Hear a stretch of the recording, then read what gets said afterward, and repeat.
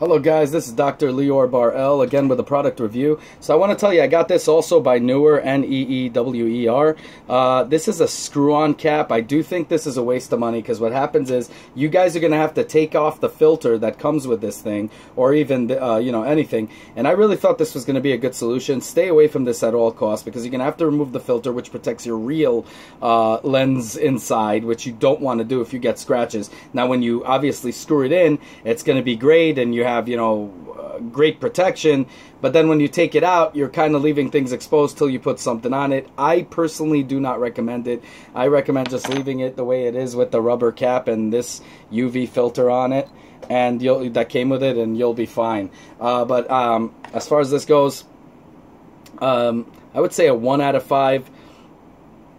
I see kind of the benefits to this, maybe. Uh, Nah, actually, I really don't. but uh, I mean, if you guys want, you know, whatever maximum protection, you just put it on there, and you're willing to risk the internals. Uh, I don't know who would do that. Uh, I would get this, but I totally would not. I would save my money. This was like 20 bucks as well. I would totally save my money. This is not worth it.